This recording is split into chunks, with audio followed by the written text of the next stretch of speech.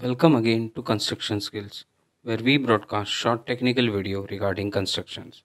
We will continue with our series on building elements, in which we will today learn about retaining walls.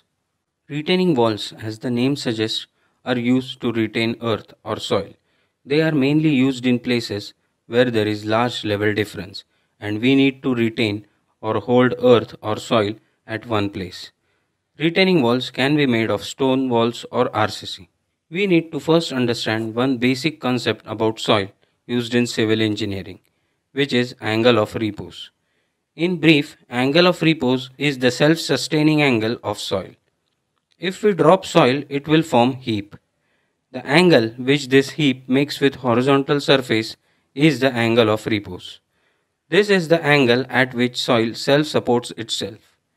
Usually, for all practical purposes in civil engineering, this angle is considered to be 30 degrees.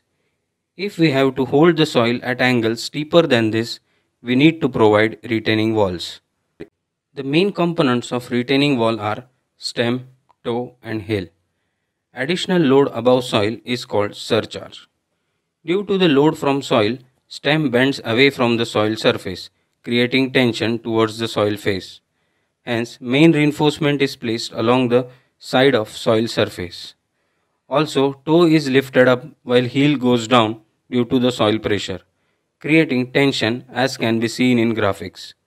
Main reinforcements for toe and heel are placed along these faces of tension. Retaining walls tend to overturn about the toe point due to soil loads. This has to be counterbalanced by self weight of retaining wall and weight of soil above the heel. Retaining walls also tend to slide due to load from soil. This has to be counterbalanced by self-weight of retaining wall and weight of soil above the heel.